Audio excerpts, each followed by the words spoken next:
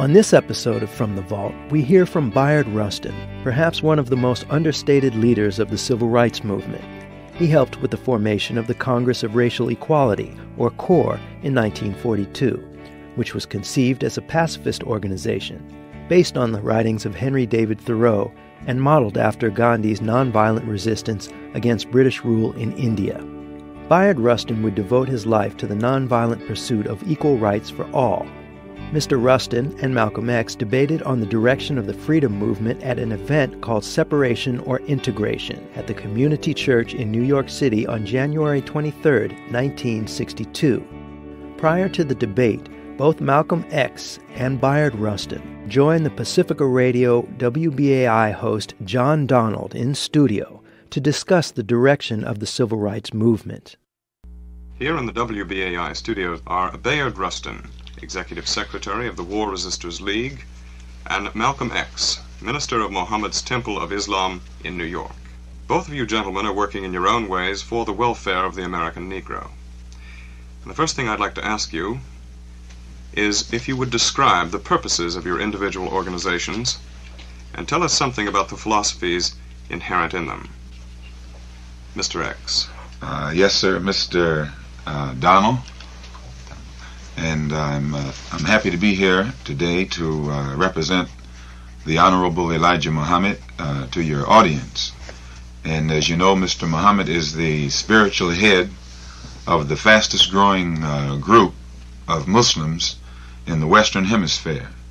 And uh, he perhaps is probably the greatest drawing card uh, among the so-called Negro masses, more so than any other so-called Negro leader today in proof of which a year ago in uh, Washington, D.C., he uh, appeared at the Uline Arena and drew 10,000.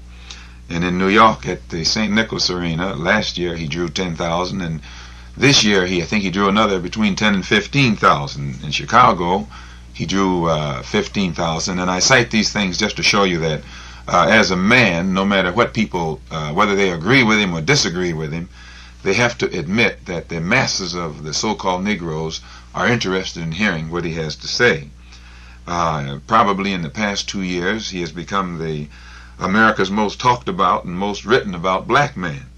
And even at the present time, I'd say he's one of the most uh, contra- he's the most controversial topic, topic um, namely because he's having such miraculous success in getting his program over among the so-called Negro masses. And if you say if you ask me what it is, I can best tell you what it is by what he is uh, credited with uh, doing.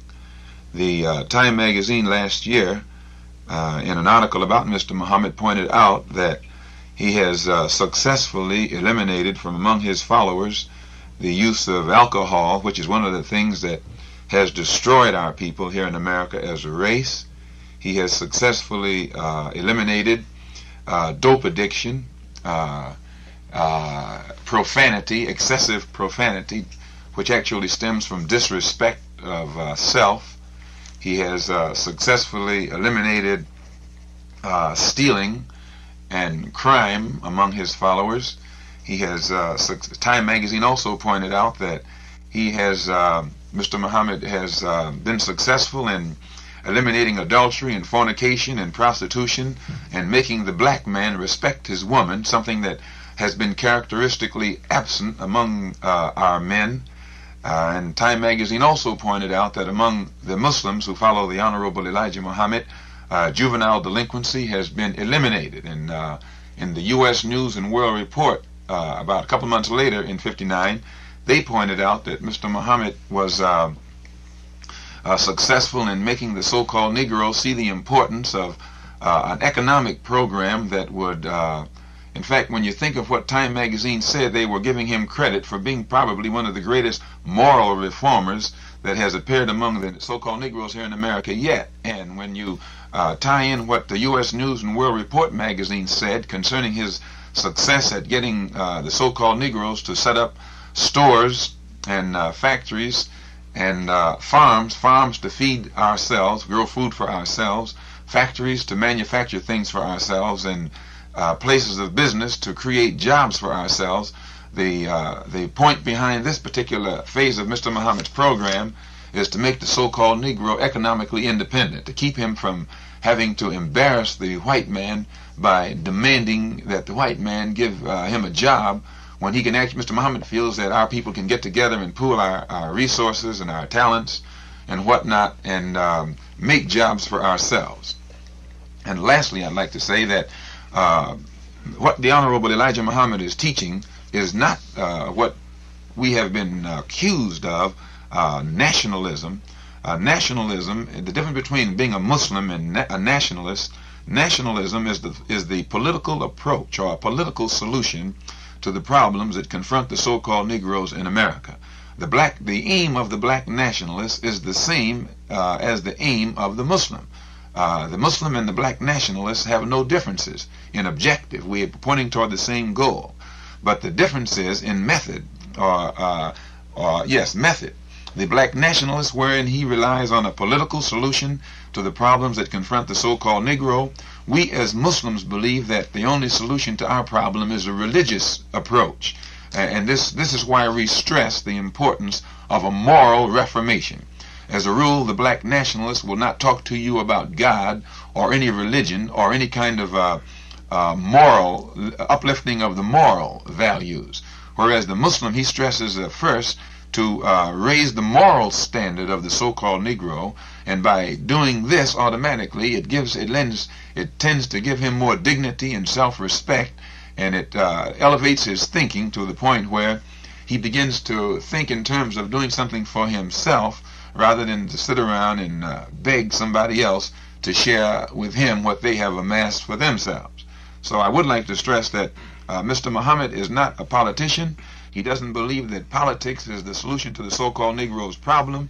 He, he says that the primary uh, ingredient involved in, in our solution, uh, it will take God. God himself uh, uh, has to have a hand in it, especially because the, the problem of the so-called Negro is so unique.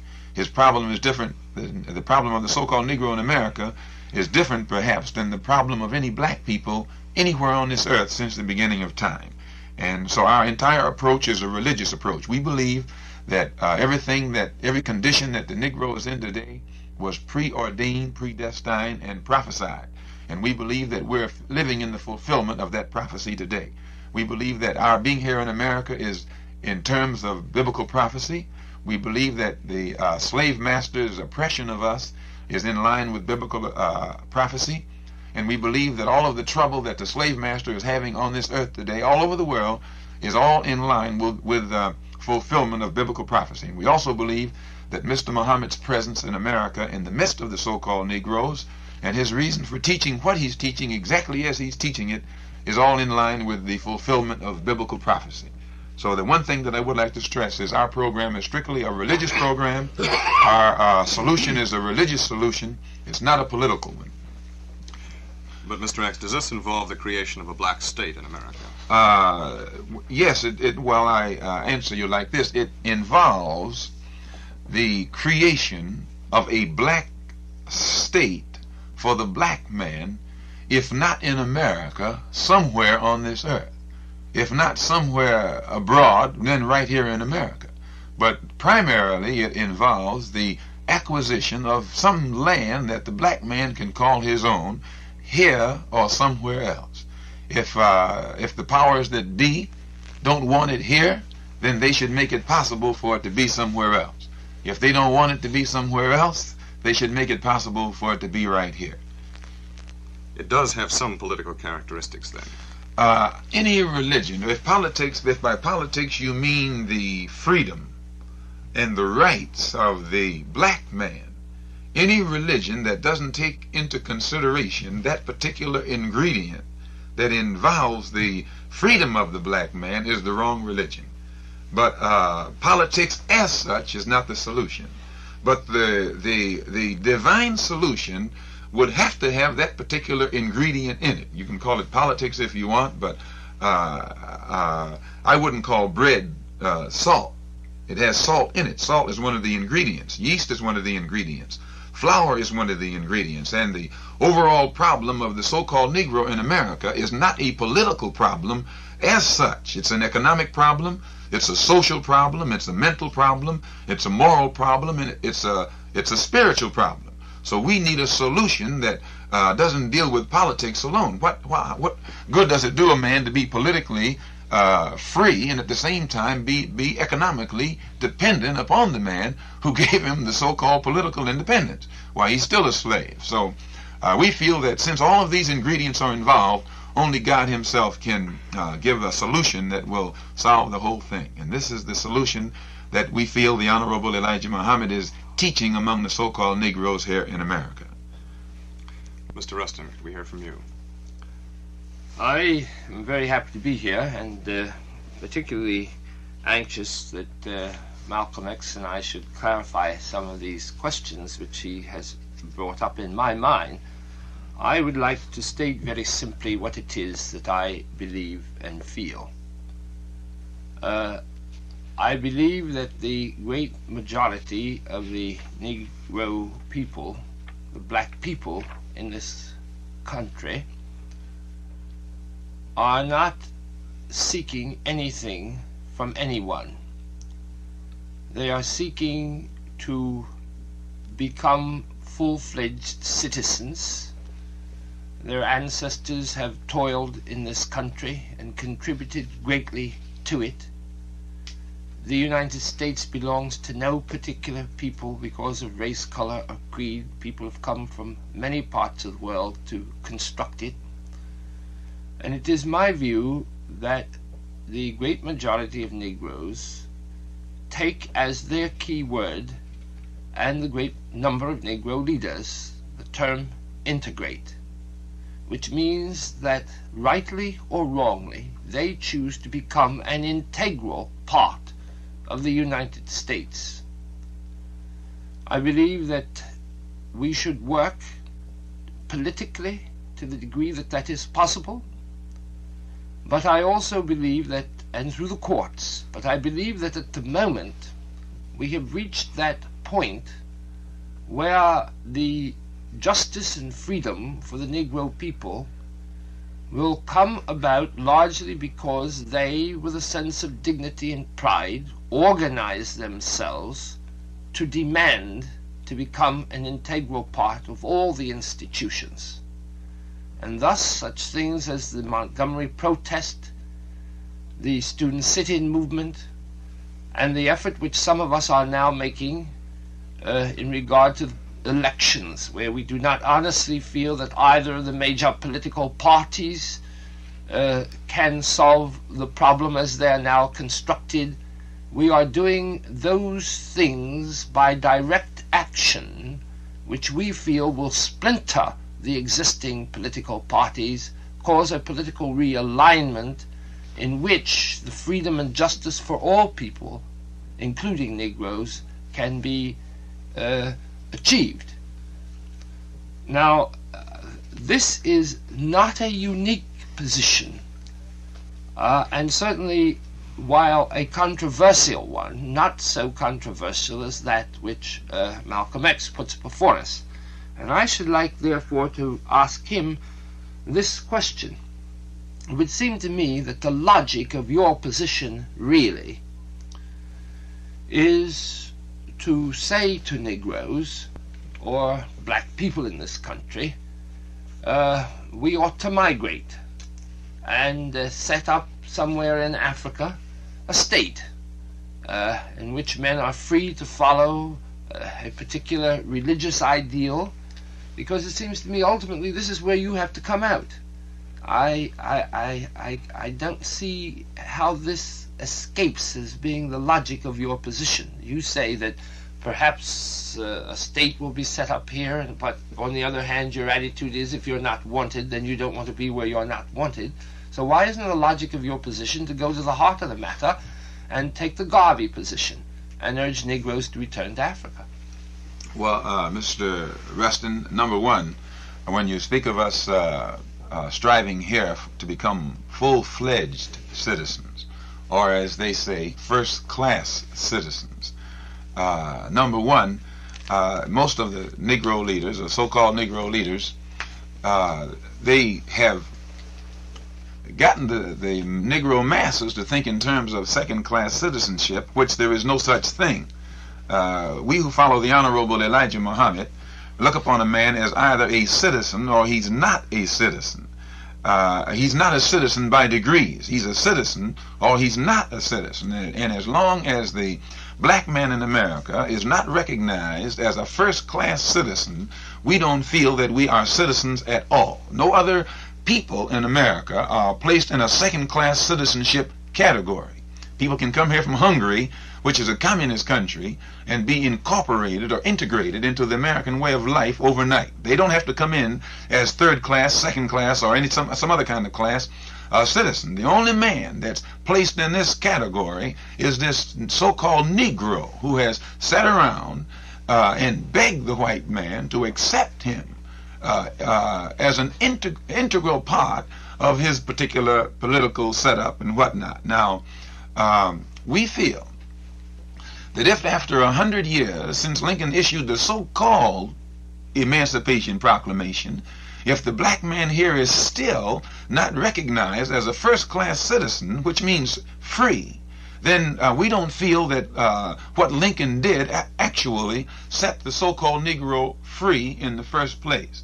Uh, not freedom in its uh, full sense of the word. An example, if you have a unique problem in that if the black man in Nigeria, for instance, uh, strives against his oppressor to gain his freedom, once he gains that freedom, the oppressor leaves. But the black man in Nigeria is already at home. He has his own country.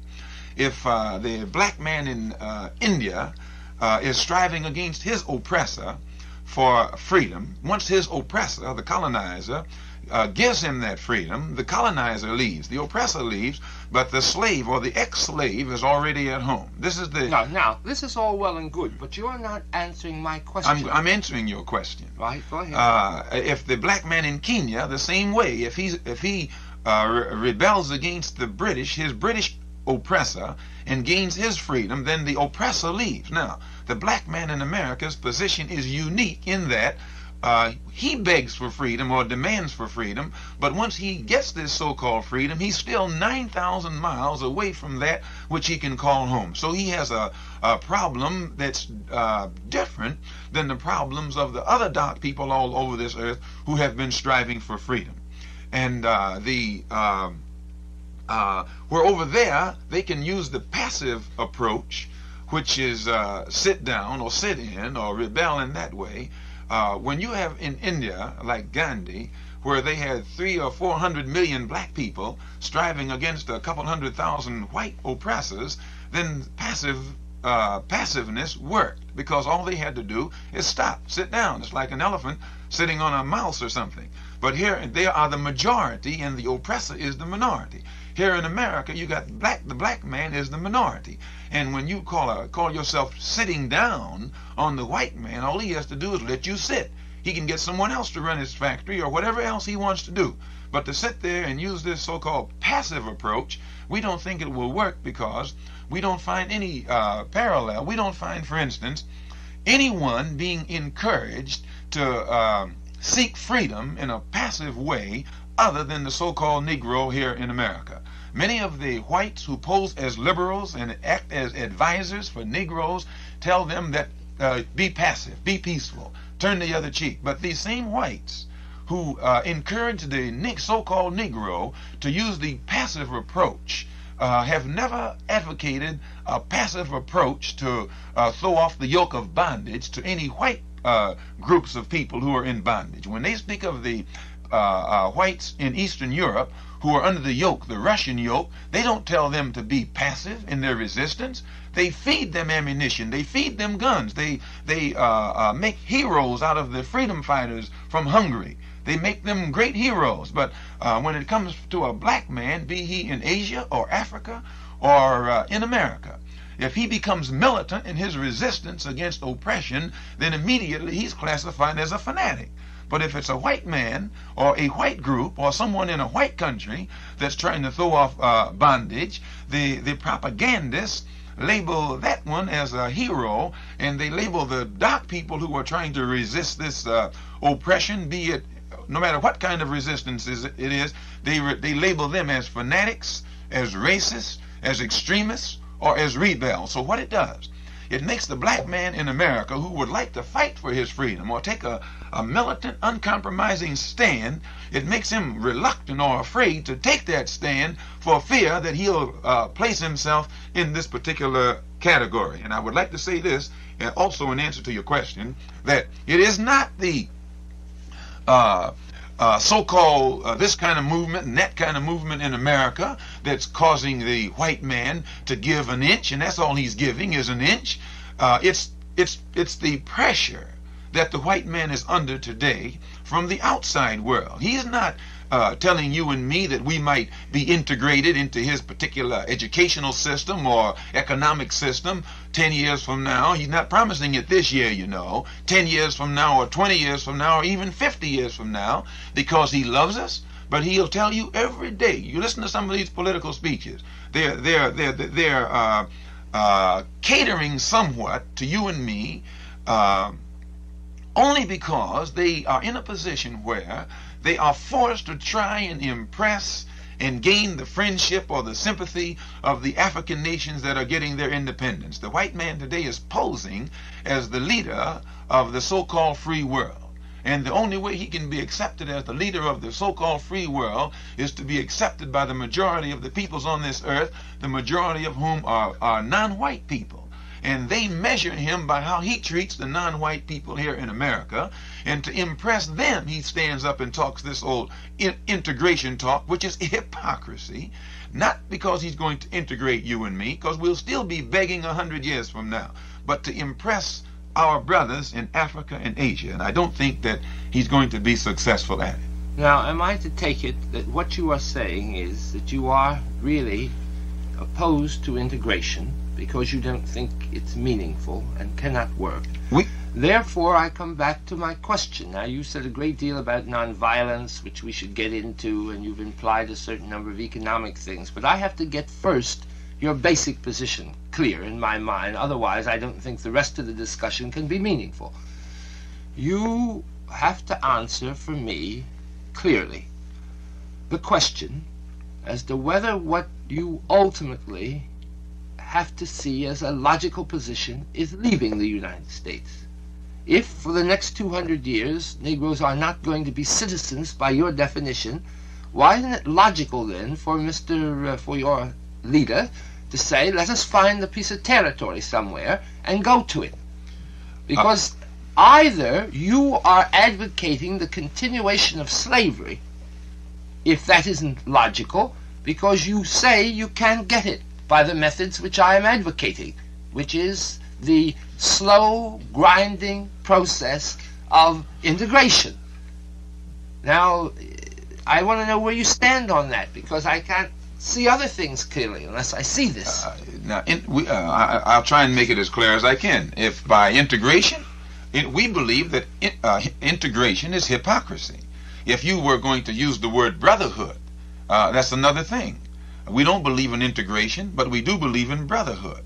Integration. But do you believe brotherhood is possible here? Uh, if any time, sir, you have to pass a law that will make the white man accept you into his society, that's not brotherhood, that's hypocrisy.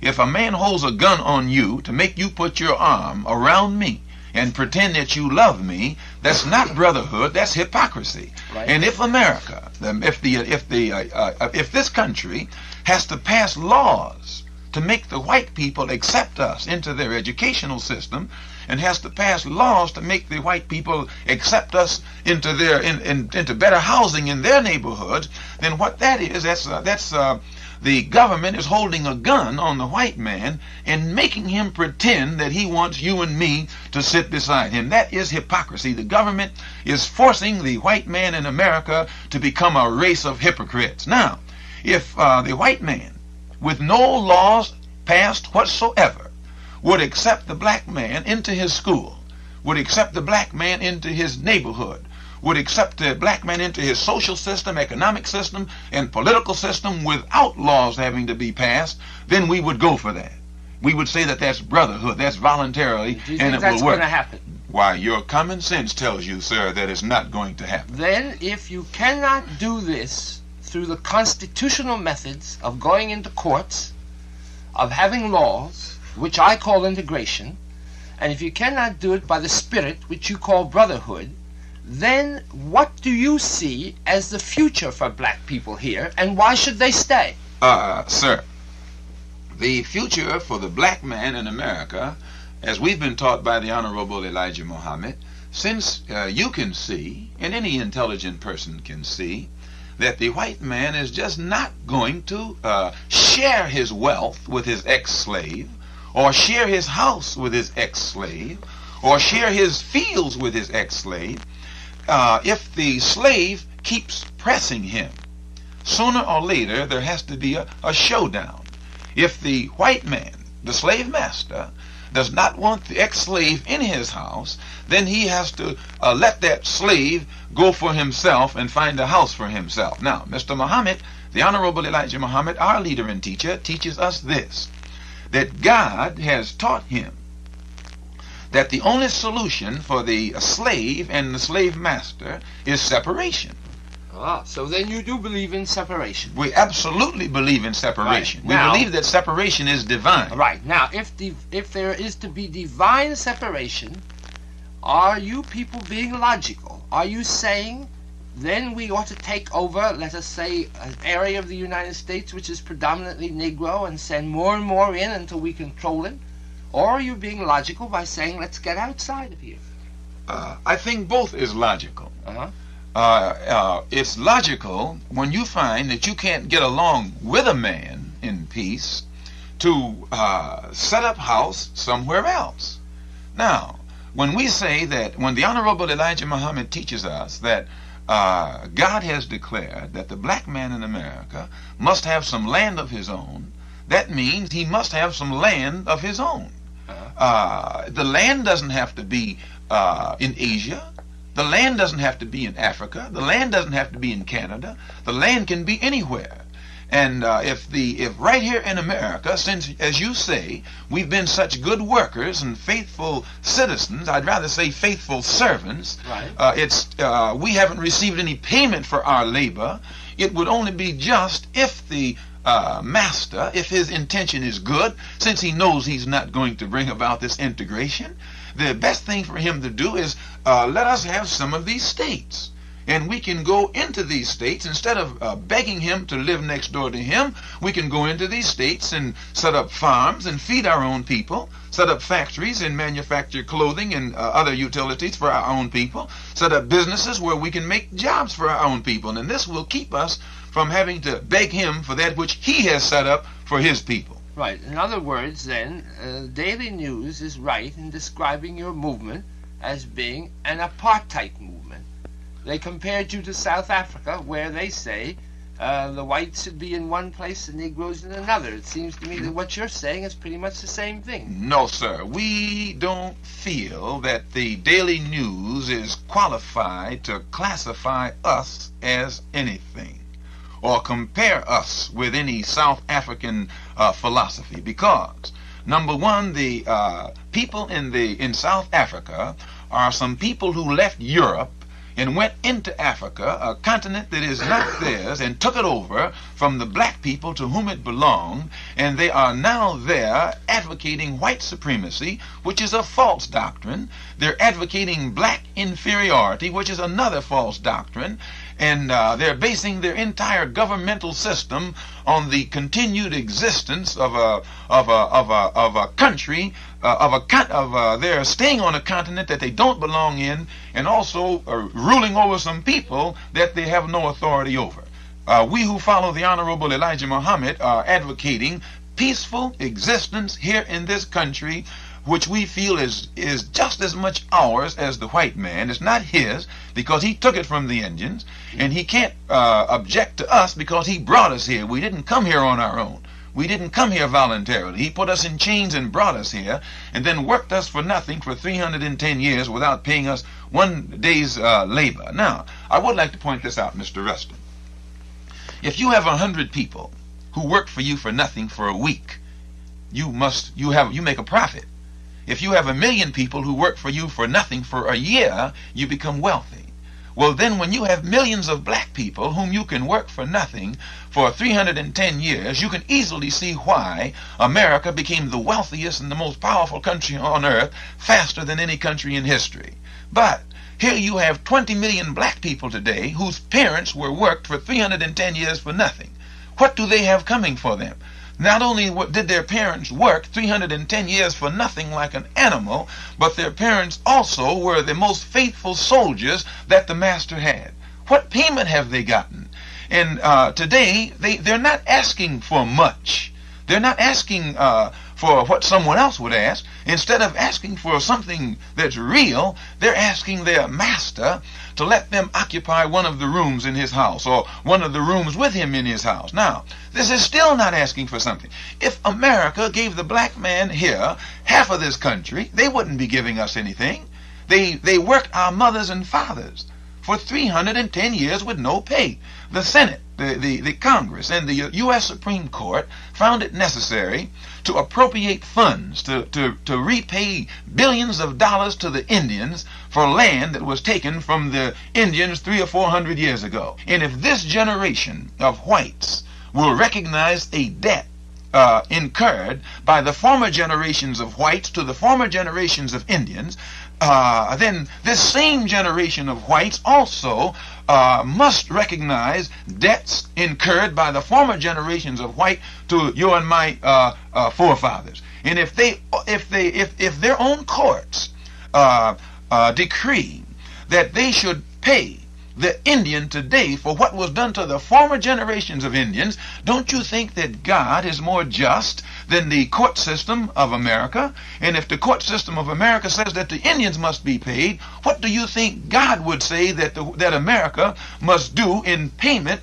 to 20 million black people who worked here for nothing for 310 years? All right, I take it then that what you're really saying is that you believe that a certain section of the United States should actually be given over and because Negroes have worked for it and deserve it and that that should be their territory that this is your solution to the problem. Only solution is separation. Separation. Not right. integration. Now now that we've got that clear it seems to me we can go back and build on that to, for me to raise some other questions with you. Now what how do you see the Negro now, and I'm all in favor, you see, of doing away with dope and alcohol and profanity and the like. This is all to the good. But uh, whether you like it or not, the this is no answer to the ultimate problem which you face. Now, given the fact that Moses kept the children of Israel in the desert for 40 years in order to do away with their slave mentality and to build up a new leadership, he also had to know precisely where he was going to take them. He had to have a piece of land. Now you want a piece of land here. Doesn't this isn't there some inconsistency with your economic policy then in this regard? Because it seems to me what you are saying is Negroes should own their own stores. Negroes should become independent uh, uh economically. Now, is this possible where you have Negroes spread over the country the way they are? Uh, you you want them to buy land in Philadelphia, New York, and and, and Texas, and uh, what good is this? What are they going to do? Then give it up and move somewhere else? And what is the psychological implications of this? Uh, well, first, sir, uh, when you mentioned Moses, you mentioned the best example that you probably could have. You pointed out uh, the people that Moses was leading mm-hmm. were uh, probably the closest parallel to the problem confronting the so-called Negro in America than any in the Bible. Uh, Moses' people were strangers in a land that wasn't theirs. Mm. The black man in America is a stranger in a land that's not his. Mm. Moses' people had a, a slave mentality. And when they were found, they were worshiping gods other than their own. They were worshiping in a religion other than their own. the Negro in America is the same way. He worships the white man's God, and he's following in the white man's religion. He, the Negro in America, is in the same fix, socially, uh, mentally, uh, politically, economically, and spiritually as the people whom Moses grew up amongst in uh, so-called in Egypt uh, uh, four four thousand years ago. Now then, if you recall, Moses didn't advocate integration. Moses advocated separation. At nowhere, nowhere in that Bible can you show me where Moses, where, where Moses went to his people and said, believe in the same God that your slave, slave master believes in, or seek to integrate yourself with Pharaoh. Moses' one doctrine was separation. He told Pharaoh, God told me to tell you, let my people go. By go, that meant separate. That did not mean to seek integration in the slave in the house of bondage. It did not mean to seek the the uh, acceptance of the slave master. It did not see, mean to seek the friendship even of the slave master. It meant that just what Moses said. Let my people go. And then he told his people, if you follow me, I will lead you to a land flowing with milk and honey. I believe that it is very important to have a great sense of racial identity because I believe that it is quite impossible for people to struggle creatively if they do not truly believe in themselves. Uh, I believe that dignity is first. Now, this for me is doubly important precisely because believing in integration and, and not having been told where we are to go I can see nothing more logical than staying here and struggling for one's rights. Also, because of moral principles which I hold, but leave them aside for the moment. I can see no way for the Negro to struggle except through nonviolence and a dedication to strategic nonviolence as, in sense, a matter of principle. Now, therefore, if you are going to be able to struggle with nonviolence to a certain extent, you have to have affection for the people who are mistreating you. No affection for the other fellow is possible without a great sense of dignity in oneself. And therefore, the dignity of the Negro, for me, is not something that is an aside, it is an essential of the struggle. The people in Montgomery were able to struggle and get integration on their buses for a simple reason. Ten years before, they could not have done it because they did not believe in themselves. When they believed in themselves, they could then be socially affectionate to the opposition while at the same time being extremely militant and walking and being prepared to sacrifice. I think this is most important. And I would therefore agree with Malcolm X that doing away with the ugliness which our people have had as a result of their poverty and their position is very necessary and important. We can certainly agree here.